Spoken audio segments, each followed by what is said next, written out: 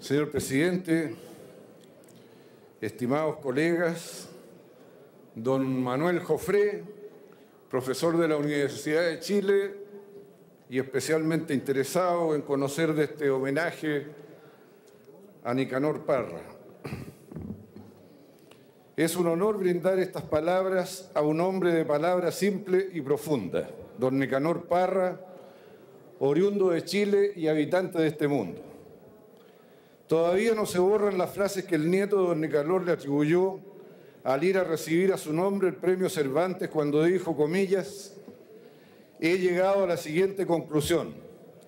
Hay que hablar por escrito.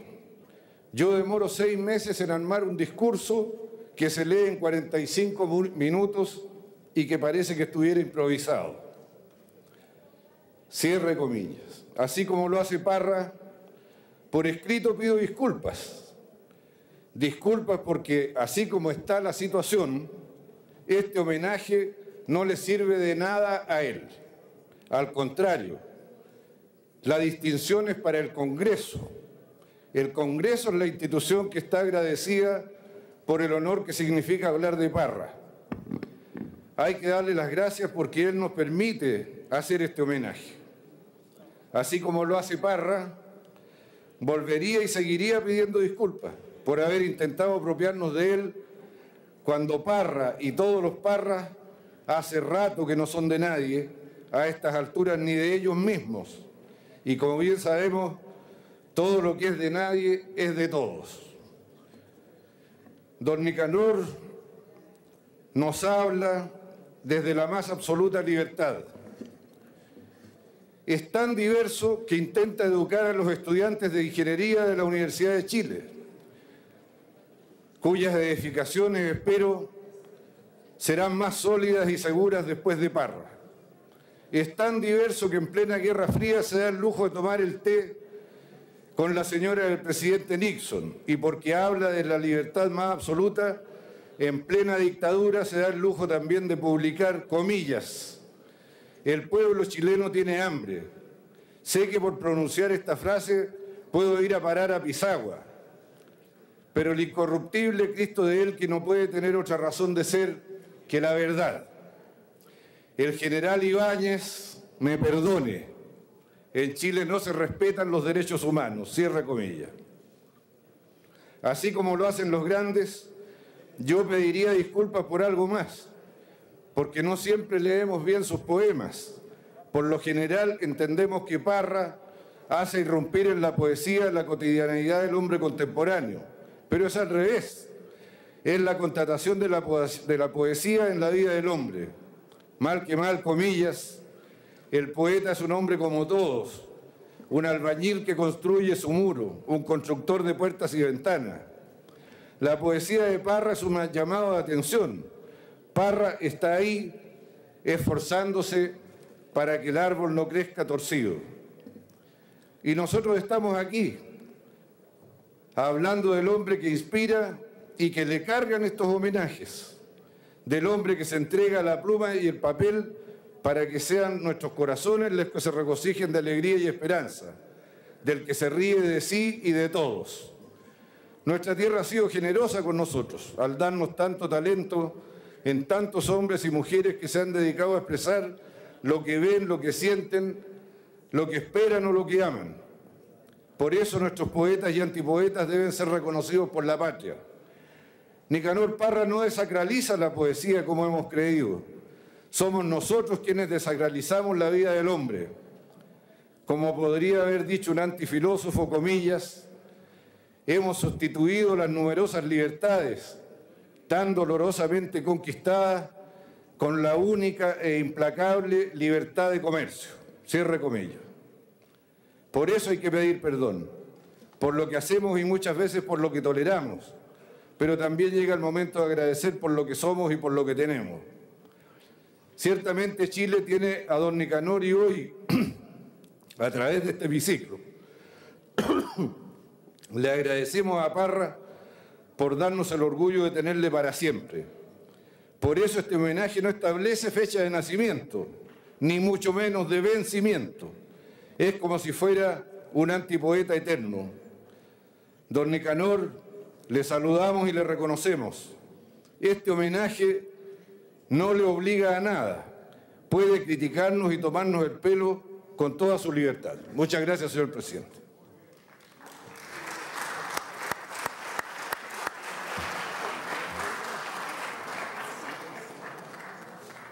Muchas gracias. Le ofrezco la palabra para rendir homenaje al diputado Alberto Cardemil.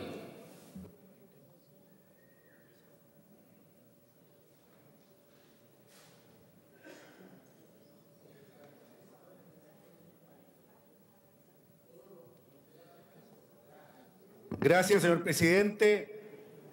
Distinguidos colegas. ¿Qué es un antipoeta? Un comerciante en urnas y ataúdes, un sacerdote que no cree en nada, un general que duda de sí mismo, un vagabundo que se ríe de todo, hasta de la, vejez y la muerte, un interlocutor de mal carácter, un bailarín al borde del abismo, un narciso que ama a todo el mundo, un bromista sangriento, deliberadamente miserable, un poeta que duerme en una silla, un alquimista de los tiempos modernos, un revolucionario de bolsillo, un pequeño burgués jugado al doble o nada, un charlatán, un dios, un inocente, un aldeano de Santiago de Chile. Subraye la frase que considere correcta, nos dice Onica y nosotros podríamos contestarle que todas sus frases nos parecen correctas para definirlo o indefinirlo, y que aún podríamos agregar otras. Un aristócrata popular, un hechicero blanco de la tribu, Sancho Panza en La Reina, un rey sagrado del bosque de Isla Negra, un poeta popular del endecasílabo, un coplero de flema anglosajona, un guaso de San Fabián graduado en cosmología, don Nicanor de la Mancha, don Quijote de Chillán, un niño sabio. Todo eso y mucho más en nuestro grande don Nicanor Parra Sandoval. Y como la gravedad chilena tiende a confundir el gracejo con el simple chiste huachaca y a identificarlo con el humorismo serio y profundo, medio chileno, medio británico, de su gigantesca obra, gracias a Dios inacabada, van aquí algunos datos duros que pueden tomarle el peso a su impresionante bagaje académico e intelectual, que a veces pasa inadvertido, como debe suceder con la masa hundida de un iceberg poderoso. En 1933 ingresa al pedagógico para estudiar matemáticas, física, ingeniería e inglés y se titula de profesor de matemáticas en 1937. Cursa un posgrado de física avanzada en la Universidad de Brown en 1943, de la que será nombrado doctor honoris causa en 1991. En 1948 es nombrado director de la Escuela de Ingeniería de la Universidad de Chile. Entre 1949 y 1951 es estudiante de cosmología en Oxford. En 1952 es nombrado profesor de matemáticas, física y mecánica racional de la Universidad de Chile profesor visitante de la Universidad de Moscú y Leningrado en 1963 y de Luisiana en 1966. Profesor investigador de mecánica teórica en la Universidad de Chile en 1968. Profesor visitante ministro de la Universidad de Columbia en 1971. Profesor del Instituto Pedagógico en octubre de 1973 profesor visitante de la Universidad de Nueva York en 1987 y de la Universidad Menéndez y Pelayo de Sevilla en 1989. Profesor de las universidades de Valencia y Chicago en 1992.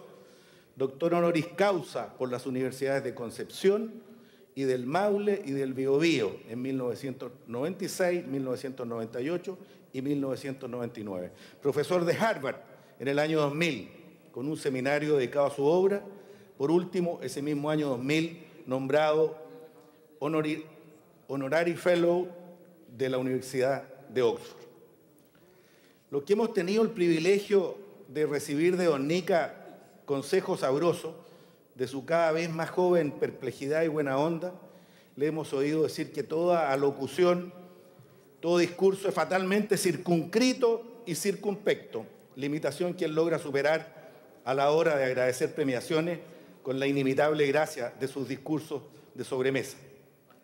Pero dada la naturaleza de nuestra honorable corporación, yo que soy parrista a tiempo completo y debo hablar a prueba de diputados, entre los cuales me incluyo, no tengo más remedio que esbozar en esta sala la consideración de al menos las cuatro razones fundamentales para leer, disfrutar y recomendar sus textos, artefactos, guatapiques e instalaciones.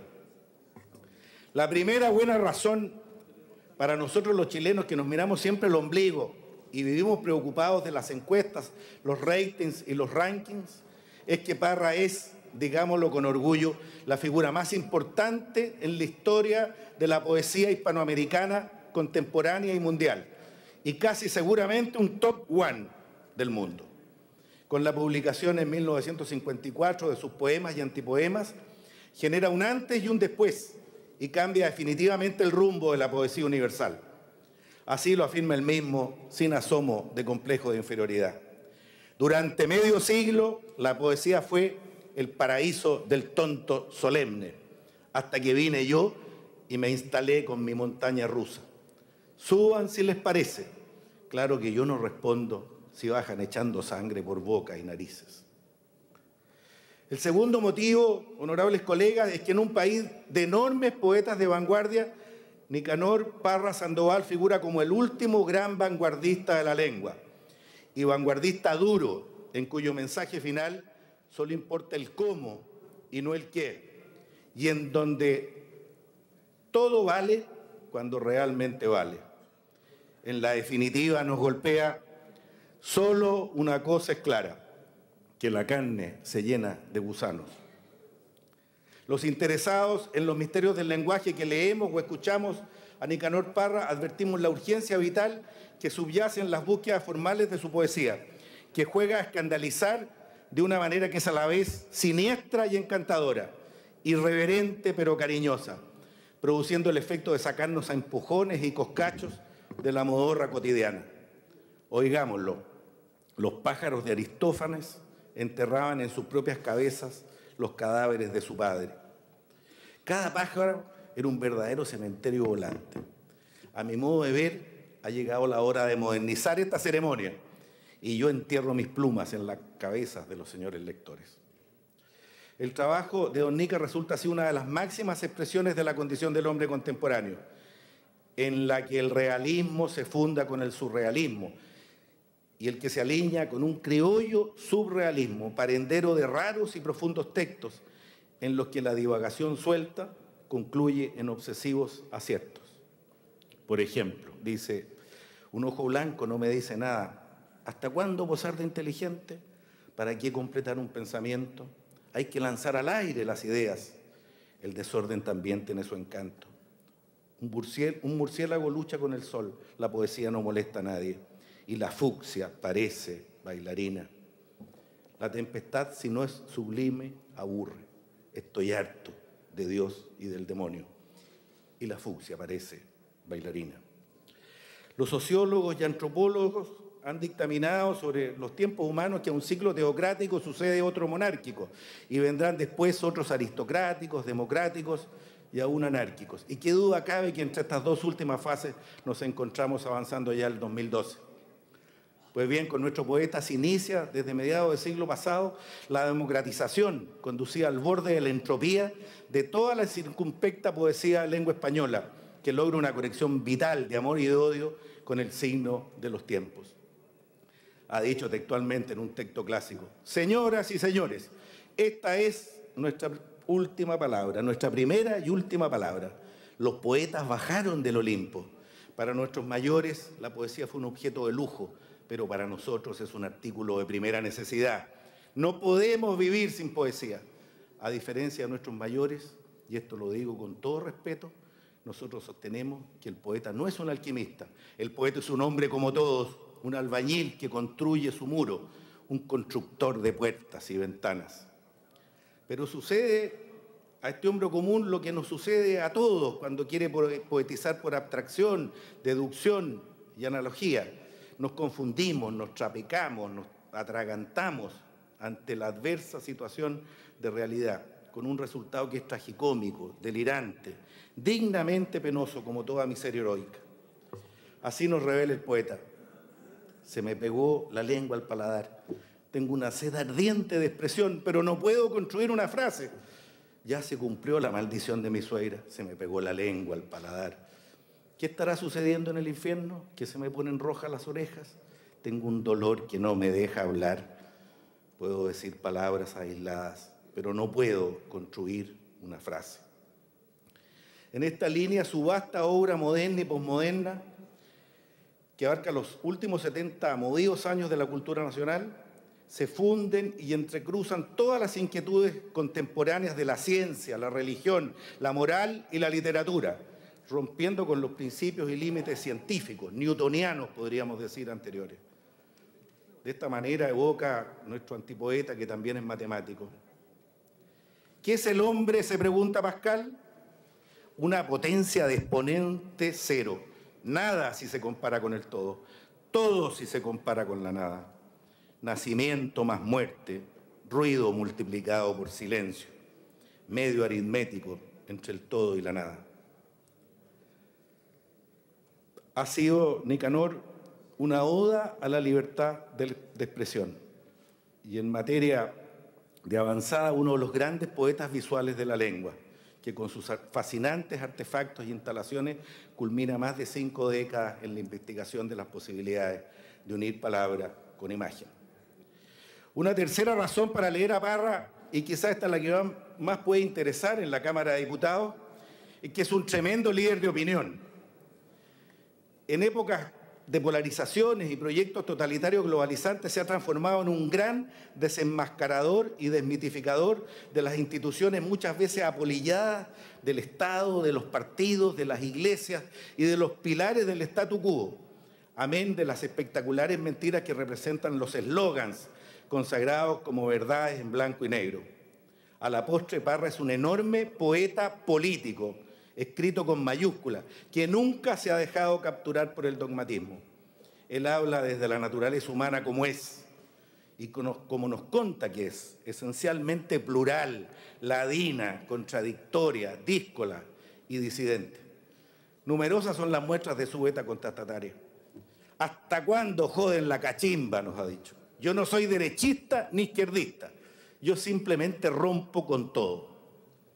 Yo soy mucho más de la reina que de la isla, mucho más de Chillán que de Santiago, más de Valparaíso que de Viña, más de los extramuros que del centro. Yo soy más dadaísta que anarquista, más anarquista que socialdemócrata, más socialdemócrata que comunista. La izquierda y la derecha unida jamás serán vencidas. Otra para que se entusiasmen mis estimados parlamentarios de todas las bancadas y tengan pega. La economía para la derecha, la política para la democracia cristiana y la cultura para la clase trabajadora. Mucho cuidado nos dice con el concepto de socialismo. Socializar todo lo socializable es perfecto, pero no vamos a socializar el water. Sería como poner, como poner cadáveres en un mismo ataúd. En ese caso, todos a la fosa común y se acabaron los mausoleos de lujo. Si realmente fueran socialistas, un monumento para cada mortal o ningún monumento para nadie, carajo. Y para que no quepan dudas, la declaración de independencia de Nicanor tiene fecha precisa y lo declara. Independientemente de los designios de la Iglesia Católica, me declaro país independiente. Que me perdone el Comité Central en Santiago de Chile a 29 de noviembre de 1963, plenamente consciente de mis actos a los 49 años de edad un ciudadano tiene perfecto derecho a rebelarse contra la Iglesia Católica, que me trae la tierra cimiento. Parra ha sido en este rubro político además uno de los primeros poetas ecologistas de la lengua española. Articula en efecto sus ecopoemas en base a una crítica y ética ecologista. Esta es su síntesis, ni socialista ni capitalista, sino todo lo contrario, ecologista. Finalmente, para mí, una de las vetas más espectaculares de Parra es su condición de auténtico poeta popular. Y esta es mi cuarta razón para leer y recomendar a Parra. Él, a partir de la genial intuición de que todo el castellano popular del siglo de oro está condensado en el octosílabo y en el endecasílabo, veo súper interesado al ministro y al diputado Vilche, con que se inicia la historia del ingenioso Hidalgo y su escudero, y ha cultivado después la más profunda tradición oral campesina del Hondo Chile, que es mi tradición, reelaborada con el lenguaje urbano que usamos diariamente. En esta línea, Don Nica vuelve a dignificar el papel del humor en la poesía, rescatando toda la comicidad medieval, especialmente la española. De la cueca larga a sus más grandes poemas universales, que están escritos en un chileno auténtico y que hay varios, hay un camino ascendente, perfectamente natural y emocionante. Y permítanme que cite uno que a mí me emociona particularmente. La presencia del Espíritu Santo se percibe con toda nitidez en la mirada de un niño inocente, en un capullo que está por abrir, en un pájaro que se balancea sobre una rama. Dificulto que alguien pueda poner en duda la presencia del Espíritu Santo en un pan recién sacado del horno, en un vaso de agua cristalina, en una ola que se estrella contra una roca. Ciego de nacimiento tendría que ser. Hasta un ateo tiembla de emoción ante una cementera que se inclina bajo el peso de las espigas maduras, ante un, bello caballo de carrera, ante un Volkswagen último modelo. Lo difícil es saber detectarlo donde parecería que no está, en los lugares menos prestigiosos en las actividades inferiores, en los momentos desesperados. Ahí falla el común de los mortales.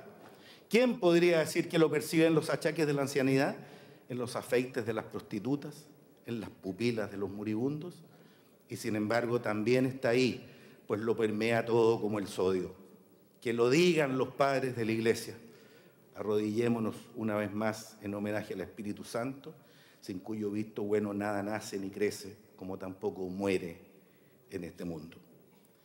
Vivimos, presidente, la hora del crepúsculo de las ideologías, una época de indignaciones y exigencias en que parecen pugnar los elementos de cohesión y digresión del individuo, la comunidad y la república, para recuperar el mínimo común múltiplo de la unidad y la elemental perspectiva de conjunto, nada mejor que recordar las premonitarias palabras del poeta que una vez escribió con insuperable ironía sobre nuestras divisiones. Tengo unas ganas locas de gritar, viva la cordillera de los Andes, muera la cordillera de la costa. Muerte sí, funerales no, en la batalla de los robots contra los energúmenos nocturnos.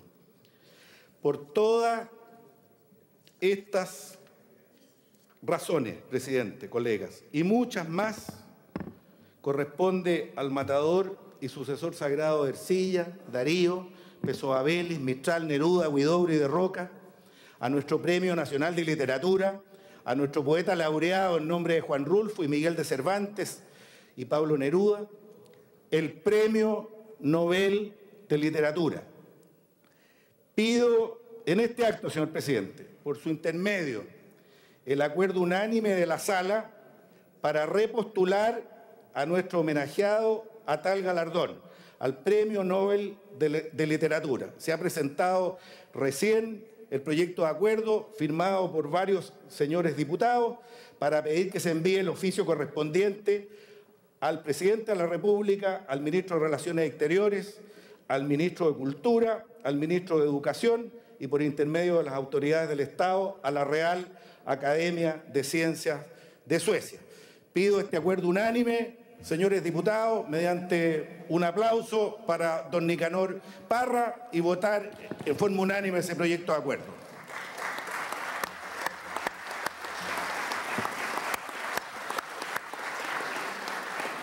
Recabo la unanimidad de la sala para aceptar la solicitud del diputado Alberto Gardemil. Acordado. Y termino, presidente. Queremos decirle todos los diputados de la República, don Nica, que también hay poesía y antipoesía en sus actitudes, vitales. Y nos ha enorgullecido mucho su espíritu, tan chileno y provinciano, de superación familiar. No se nos olvida el cariño protector que en 1940 le dio a doña Clara Sandoval, su madre, y a toda la progenie Parra, especialmente a Violeta, que lo llamó siempre su hermano padre. Esta preocupación familiar se trasladó después a sus brillantes hijos Catalina, Colombina y Juan de Dios y se ha proyectado en nietos que lo quieren y admiran. la notable representación que de él hizo su nieto Cristóbal en Alcalá de Henares nos, nos enorgulleció a todos con ganas de decirle lo mismo que todo abuelo chileno desearía decirle a su nieto. Ya estamos al otro lado, compadre. Concluyo en consecuencia, señor presidente, con las palabras flagrantes del poeta. Señoras y señores, yo les voy a hacer una sola pregunta. ¿Somos hijos del sol o de la tierra? Porque si somos tierra solamente, no veo para qué continuamos filmando la película. Pido que se levante la sesión. He dicho, presidente.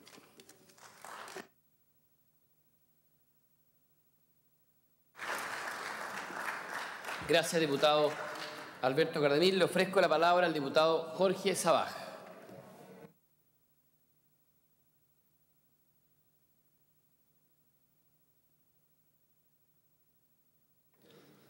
Señor presidente, estimados eh, parlamentarias y parlamentarios, en el nombre de la bancada de la democracia cristiana, eh, rendimos un homenaje a Nicanor Parra Sandoval, nacido en San Fabián de Alico el 5 de septiembre de 1914, pequeña comuna de la provincia de Ñuble que tengo la honra de representar en este hemiciclo.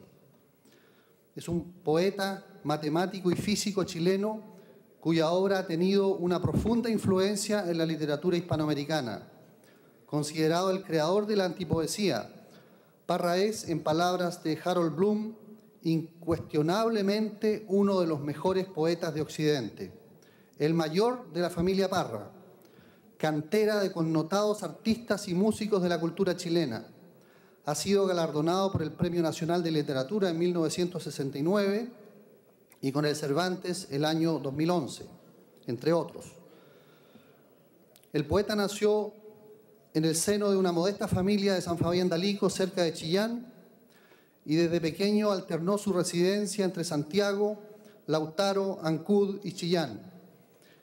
Creció en un ambiente artístico, ya que su padre, Nicanor Parra, profesor primario, cuánto le debemos a los profesores, y músico, y su madre, Rosa Clara Sandoval Navarrete, tejedora y modista de origen campesino, también tenía aficiones artísticas y solía cantar canciones folclóricas. En 1927 ingresó en el Liceo de Hombres de Chillán, hoy Liceo Coeducacional Narciso Tondró, donde cursó hasta el quinto año de Humanidades y en 1932 partió a Santiago para terminar la educación secundaria en el Internado Nacional Barros Aranas, gracias a una beca de la Liga de Estudiantes Pobres. Ahí conoció a Jorge Millas, Luis Oyarzún y Carlos Pedraza, con los cuales tuvo gran afinidad artística. Posteriormente ingresó al Instituto Pedagógico de la Universidad de Chile, donde estudió matemáticas y física, también como, ingeniería, derecho e inglés pero pronto los abandonó. Financió la universidad desempeñándose como inspector del Internado Nacional Barros Aranas. En ese colegio comenzó a publicar junto a Jorge Millas y Pedraza la revista Nueva en 1935, donde apareció su primer anticuento, Gato en el Camino. Más tarde fue profesor de su alma mater donde llegó a ser director de física, cargo que renunció en 1968. Hermano de Violeta Parra, a quien lamentablemente no tuvimos la sabiduría para rendir un homenaje oportuno a la gran Violeta Parra, nacida en San Carlos, como lo merecía con amplitud. Pero hoy podemos reparar esa injusticia haciendo un tributo tan merecido como aquel en la persona de don Nicanor Parra Sandoval, un auténtico revolucionario de la poesía y del habla. Las enciclopedias dicen que Parra es poeta, matemático y físico, pero por sobre todas las cosas es un chillanejo y luego un chileno. Escribe como habla y habla como escribe. Y en cada línea de su obra podemos ver a un chillanejo orgulloso de su tierra desde esas líneas en las que nos cuenta de una tarde en la que quiso recorrer las calles de su ciudad hasta ese humor con el que tras recibir el último premio que se prestigió con su nombre, el Premio Iberoamericano de Poesía, Pablo Neruda declaró, No es la primera vez que me dan un premio que no merezco y, espero que no sea la última. Me querellaré contra quienes resulten responsables. Todos sabemos que la vena artística es una herencia familiar. Todos sabemos los múltiples nombres que pueblan eso que se ha venido en llamar la familia Parra. Y nadie duda que entre tanto artista valioso resaltan los nombres de Nicanor y Violeta. Todos sabemos también que fue Nicanor el que animó a Violeta a recopilar el folclor campesino y a componer sus propias canciones. Ella le devolvió ese apoyo con su cueca de los poetas, en el que hace una lista de los principales poetas chilenos y concluye advirtiéndole a Pablo Neruda, quizás el más universal de todos, que se ponga a correr, ya que te agarra Nicanor Parra. Obligado, como tantos provincianos, a marchar a la capital para continuar sus estudios, en donde ingresó al pedagógico, además de iniciar estudios en ingeniería, derecho e inglés, que pronto abandonó para elegir la docencia y la física, siendo él el único de los hermanos que podría seguir estudios superiores. Se lo tomó muy en serio y contribuyó al financiamiento de la universidad como inspector del internado Barros Aranas, en donde hizo sus primeras publicaciones. Luego, en 1935, su primera publicación, Cancionero sin nombre, en donde se apoyaba en la métrica del romance, pero aún no aparecía la antipoesía. Para llegar a ella hizo un largo recorrido.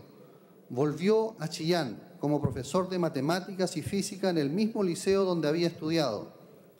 Seis años después, en 1943, parte a Estados Unidos a estudiar mecánica avanzada y regresa tres años después para hacer clases en la Universidad de Chile de mecánica racional. En 1949, ya habiendo tomado partido en las disputas literarias en contra de Pablo Neruda, que representaba la tradición, parte a Inglaterra a estudiar cosmología en Oxford. Es a su regreso, en 1951, que publica sus primeros antipoemas y poco después, junto a Enrique Lin y Alejandro Godorowski, marca aún más su distanciamiento de la poesía tradicional con los célebres quebrantahuesos compuestos con recortes de periódicos hasta que en 1954 publica por fin poemas y, y antipoemas con su celebérrima Declaración de Principios. Durante medio siglo, la poesía fue el paraíso del tonto solemne, hasta que vine yo y me instalé con mi montaña rusa. Suban, si les parece, Claro que yo no respondo si bajan echando sangre por boca y narices. Todo el mundo quedó sorprendido, con la boca abierta. Casi de la nada aparecía este provocador que no abandonaría su estilo hasta nuestros días. Las invitaciones se sucedieron porque todos querían conocer a quien estaba renovando tanto la poesía como el lenguaje. Se hizo comunista y abandonó el comunismo para hacerse ecologista, uno de los primeros y desde su nuevo paradigma ha venido advirtiéndonos contra la depredación del planeta y los abusos en contra de los mapuches. Incursionó además en la mística con los sermones y prédicas del Cristo del Elqui, en la política con el poema y antipoema de Eduardo Frei eh, de 1982 con motivo de su muerte, en 1983 con los chistes para desorientar a la policía poesía y poesía política. Ahora es shakespeariano. Cuando uno quiere ver dónde está Parra, es habitual que ya esté en otro lado, y eso que tiene ya 97 años de edad. Su obra es popularmente conocida a diferencia de muchos poetas y es habitualmente citado en la prensa y en las redes sociales, aportando siempre con su humor a una madura reflexión respecto de nuestra sociedad pero que no se crea que lo suyo se limita a la broma. Tras cada uno de sus poemas hay una, cuidadosa observación de la métrica, a menudo clásica y mucha meditación y correcciones. No es por nada que sus poemas han sido motivo de numerosos estudios académicos. Hace ocho años sorprendió al mundo de habla hispana con una estupenda traducción del drama del Rey Lear de William Shakespeare, reconvertido en rey, líder y mendigo, con el que hace convivir perfectamente los versos isabelinos con el habla popular, demostrando una vez más que Parra sabe más que muchos de sus contemporáneos y tiene más oficio que cualquier otro poeta. Su valor como poeta ha sido reconocido con muchísimos premios. En 1938 el Premio Municipal de Santiago por Cancionero sin Nombre, el mismo premio en 1955 por Poemas y Antipoemas, en 1969 Hijo Ilustre de Chillán y Premio Nacional de Literatura. En 1991 el doctor honoris causa de la Universidad de Brown y el Premio de Literatura Latinoamericana y del Caribe Juan Rulfo y una larga lista de distinciones hasta el Miguel de Cervantes hace pocas semanas. No diremos que está siendo postulado por cuarta vez al Premio Nobel, porque como él mismo dice, a otro parra con ese hueso. He dicho, señor presidente. Muchas gracias. Muchas gracias, diputado Jorge Sabaj. Tiene la palabra diputado Isa Corto.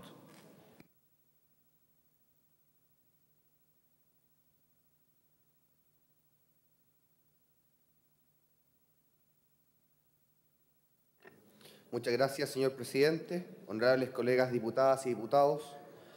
Hablar de Nicanor Parra en sí es un hecho relevante. Homenajearlo en esta Cámara de Diputados es una necesidad para Chile y su cultura.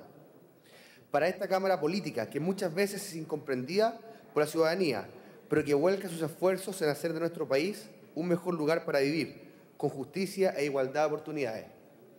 Solo ha pasado una semana desde que subimos la gran noticia en el ámbito de la cultura de nuestro país. El reconocimiento al antipoeta nacional Nicanor Parra Sandoval fue condecorado con el Premio Iberoamericano de Poesía Pablo Neruda, año 2012.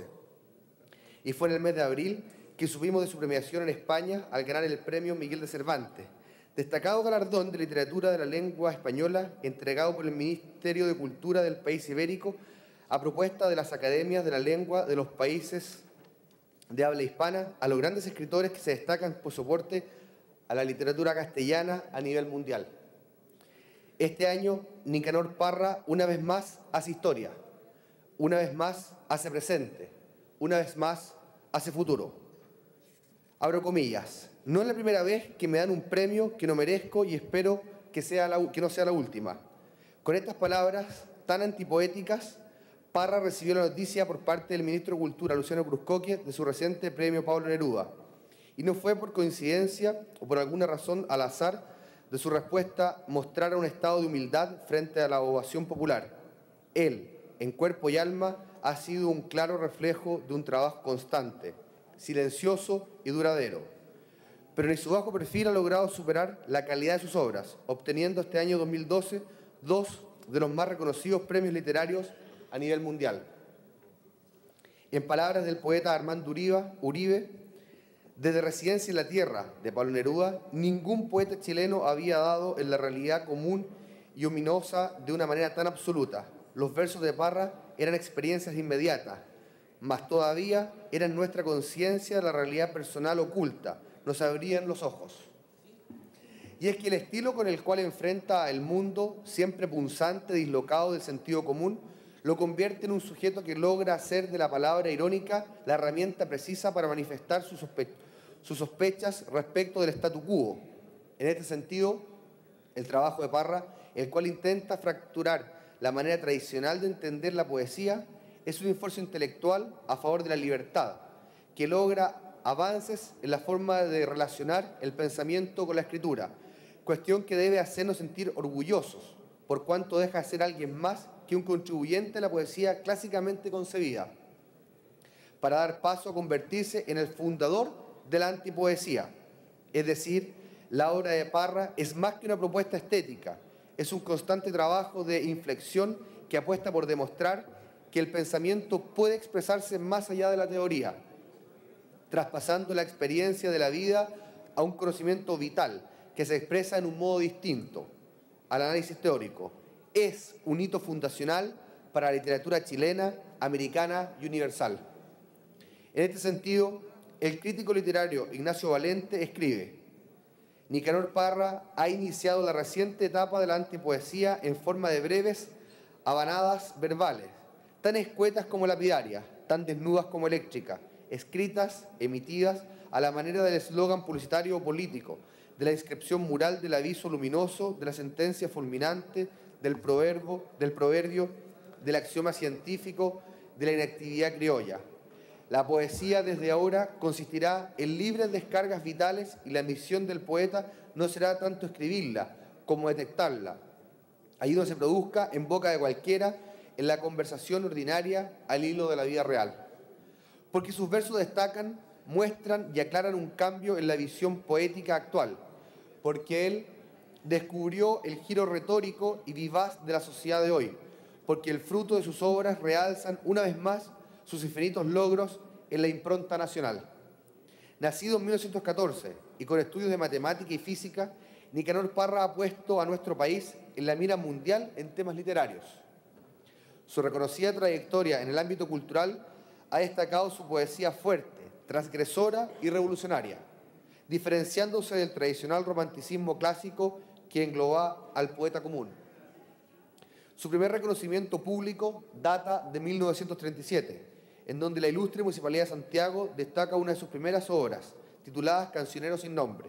A partir de entonces, sus más elogiadas obras como Poemas y Antipoemas del año 54, El Manifiesto de 1963, Artefactos de 1972, Poesía Política de 1983 y Poemas para combatir la calvicie de 1993 han recorrido el mundo para dar a conocer esta sensible pluma de gran calibre poético. Pero no solo ha recibido premios por sus obras, sino también ha recibido grandes reconocimientos que demuestran su calidad humana y potencia en el ámbito literario. En 1969 fue reconocido como hijo ilustre Chillán. En 1991 fue nombrado doctor honoris causa a la Universidad de Brown. En 1996 doctor honoris causa a la Universidad de Concepción. Y el año, el año 2000 fue nombrado doctor honoris causa de la Universidad del Biobío y honorary fellow of the St. Catherine College de la Universidad de Oxford. Hoy es candidato al Premio Nobel de Literatura 2012. Fue durante la semana pasada que dos representantes de Chile y cuatro expertos literarios internacionales expusieron sobre la trascendencia de la obra de Parra en un seminario de Estocolmo, porque es un deber y necesidad como país, como sociedad y como compatriotas resaltar su figura como eje central contemporáneo, porque es fundamental destacar a, personajes que han sobresalido en su proyecto, no solo como artistas, sino que también como personas que imagen, de imagen intachable y noble, y porque nos vale agradecer tan preciado testimonio de carácter, de carácter, personalidad y energía que nuestra tierra nos ha entregado. Lo queremos, lo queramos o no, solo tenemos tres alternativas, el ayer, el presente y el mañana. Y ni siquiera tres, porque como dice el filósofo, el ayer es ayer, no pertenece solo en el recuerdo. A la rosa ya se deshojó, no se le puede sacar otro pétalo. Las cartas por jugar, solamente dos, el presente y el día de mañana. Y ni siquiera dos, porque es un hecho bien establecido que el presente no existe, sino en la medida en que se, se hace pasado y ya pasó como la juventud. En resumidas cuentas, solo nos va quedando el mañana. Yo levanto mi copa por ese día que no llega nunca, porque es lo único de lo que realmente disponemos. Poema Último Brindis de Nicanor Parra. He dicho, señor presidente, muchas gracias.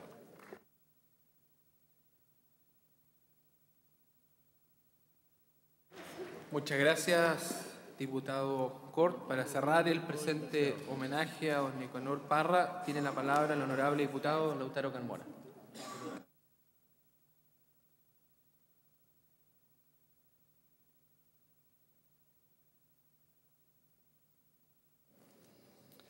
Señor presidente, colegas parlamentarios, invitados. Nicanor Parra Sandoval nació en el mes de la patria, septiembre, el día 5 de 1914 en San Fabián de Alinco, comuna precordillerana en la provincia de Ñuble, a 70 kilómetros de Chillán y a 400 kilómetros de Santiago. Hijo de un profesor primario, del cual viene su nombre, amigo de la música, y de Rosa Clara, tejedora campesina que cantaba las tonadas de esa tierra. Este Nicanor fue el mayor de sus hermanos y propicio de este homenaje para recordarles Hilda, Violeta, Eduardo, el tío Lalo, Roberto, Caupolicán, fallecido a muy temprana edad, Elba, la menor de las mujeres, Lautaro y Óscar, el Paya Parra, como se hacía llamar. Todos ellos han quedado en el ADN del ser chileno. Cada uno aportó con su originalidad y creatividad, pero sin duda entre estos hermanos destacan Violeta y Necanor, conocidos literalmente en todo el mundo.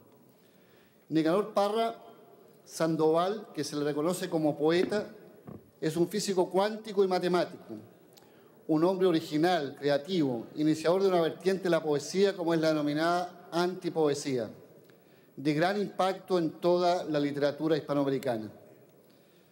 Tras haber solicitado un homenaje para Nicanor Parra, este poeta tan nuestro, tan chileno, este creador literario que desde la década de los años 30, el siglo recién pasado, viene decorando nuestras letras nacionales, me percaté que un gran desafío nos habíamos impuesto.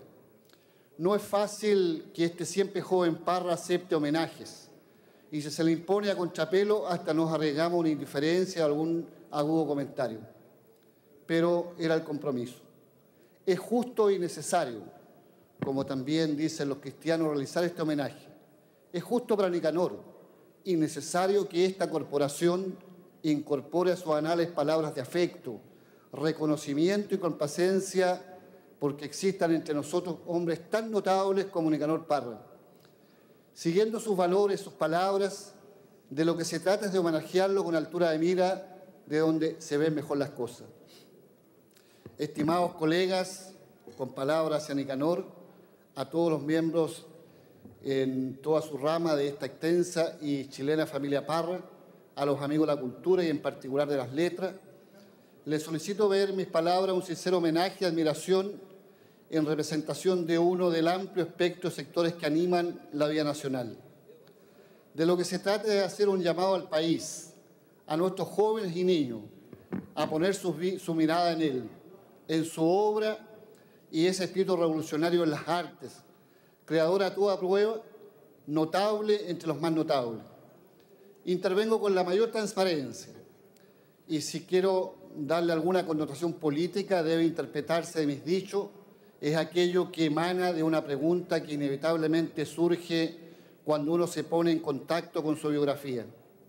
¿Cuál es la razón por la que surgen de tarde en tarde talentos de esta envergadura?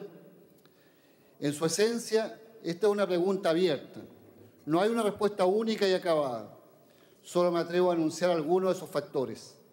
El rol de su padre, el amor de su madre, esa costurera delantal largo y sus cualidades artísticas. La influencia de sus profesores, su talento natural, la influencia de sus amigos y todos aquellos que desde muy temprano creyeron en él.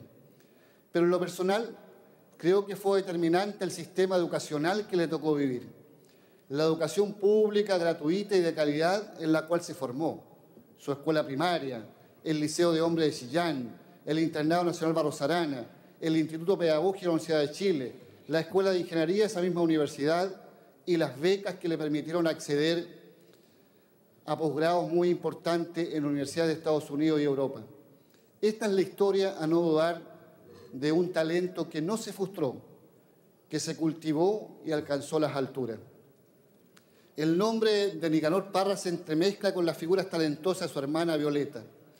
Violeta Parra tenía un cariño y respeto enorme por su hermano mayor. Al parecer, de la única persona a la cual se despidió Violeta ante su dramática decisión de poner fin a sus días fue de Nicanor, con quien almorzó y le pidió que la escuchara cantar.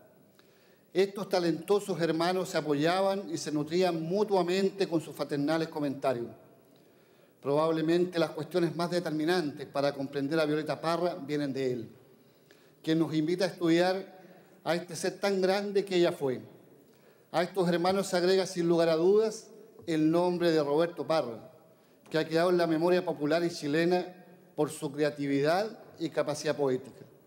Presenciar y escuchar La Negra Esther es una lección profunda de lo que es Chile, o mejor dicho, lo que es la chilenidad. Para Nicanor Parra siempre ha sido trascendente actuar con el corazón y con él ganarse al pueblo. Ese ha sido su permanente mensaje y su mayor preocupación. Sin duda que esa mirada, esa pretensión, traída a la política es de un valor inestimable. Obviamente, el que se gana el cariño del pueblo se gana el mayor de todos los honores y reconocimientos. Se puede hacer extensiva esa idea y se puede afirmar que el que promueve políticas públicas, ganándose el reconocimiento de los desposeídos, de la inmensa mayoría de los trabajadores, de las mujeres, de los adultos mayores, tiene gran parte de lo que se requiere para avanzar y alcanzar el éxito. Nicanor Parra piensa que el premio Nobel es una distinción con mucha carga geopolítica.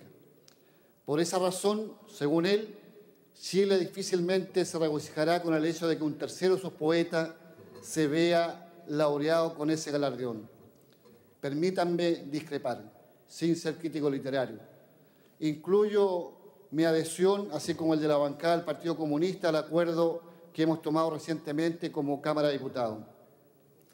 La poesía de Nicanor Parra tiene la suficiente trascendencia para la literatura universal como para que sea reconocida en ese nivel, después que ésta ya ha logrado todos los premios existentes en el habla hispana.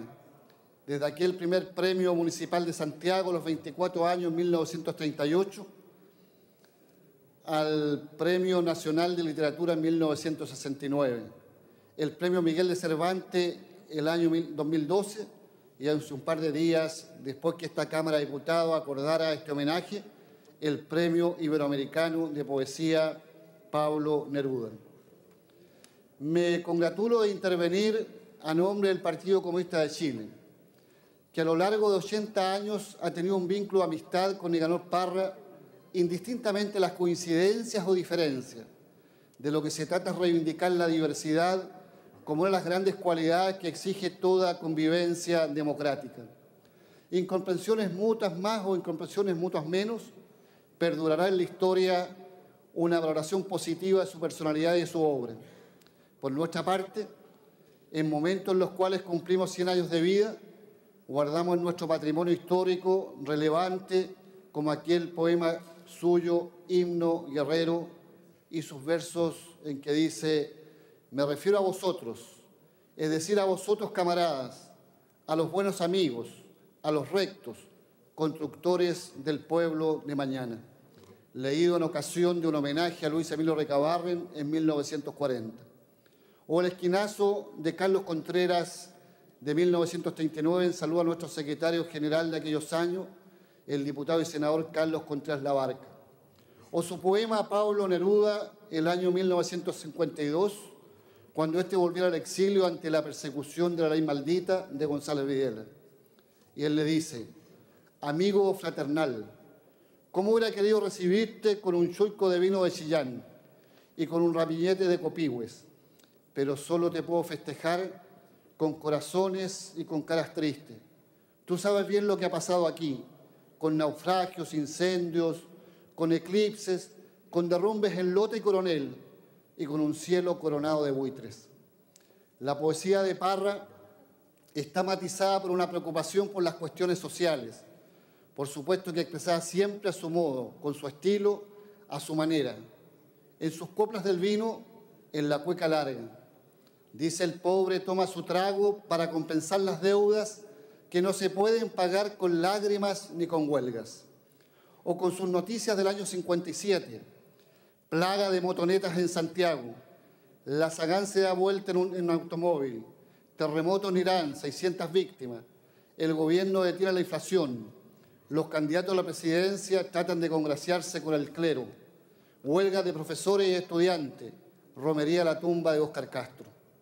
Entre sus obras más notables, a mi juicio, está sin duda su poema Manifiesto, leído por él durante la conferencia de artistas y escritores comunistas en 1962, a la cual asistió en calidad de invitado, en la cual señala a su entender las obligaciones poéticas de un escritor comunista. Y dice, nosotros repudiamos la poesía de gafas oscuras, la poesía de capa y espada, la poesía de sombrero alón. Propiciamos un cambio, la poesía ojo desnudo, la poesía cabeza desnuda, la poesía a pecho descubierto.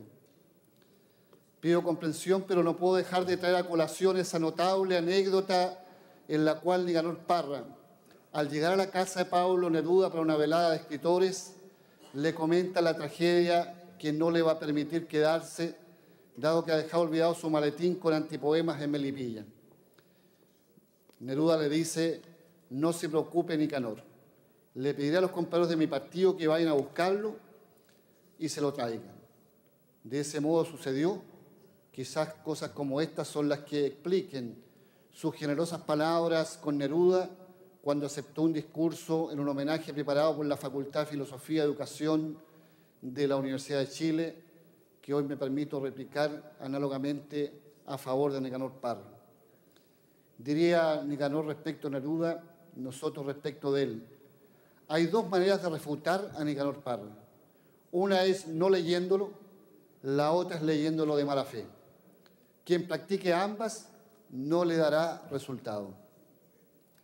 Nicanor Parra siempre ha sido altamente valorado por escritores comunistas.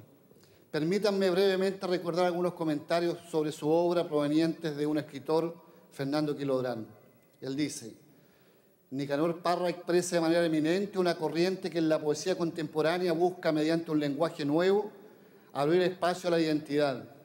Y en este caso es la nuestra, la de nuestro pueblo, que durante mucho tiempo yacía postergada por la, rutina o inercia de las escuelas. Tuvo precursores, compañeros de ruta, entre nosotros, Gabriela Mistral y Neruda.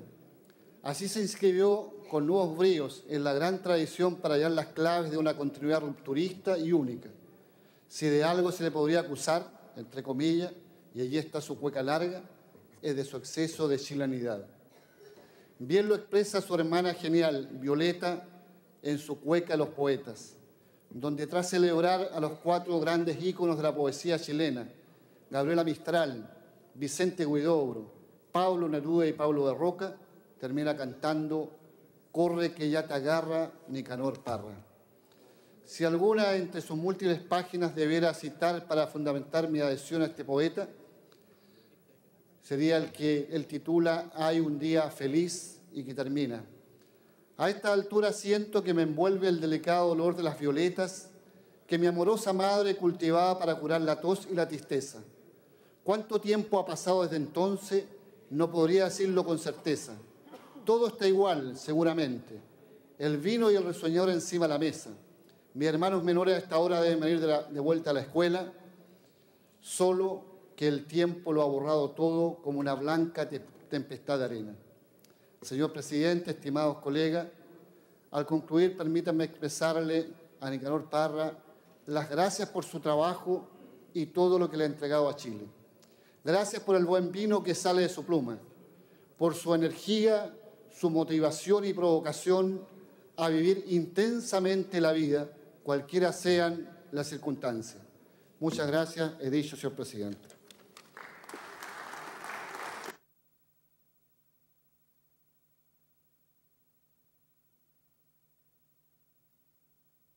Muchas gracias, diputado Carmona. De esta forma hemos concluido y rendido homenaje a don Nicanor Parra Sandoval.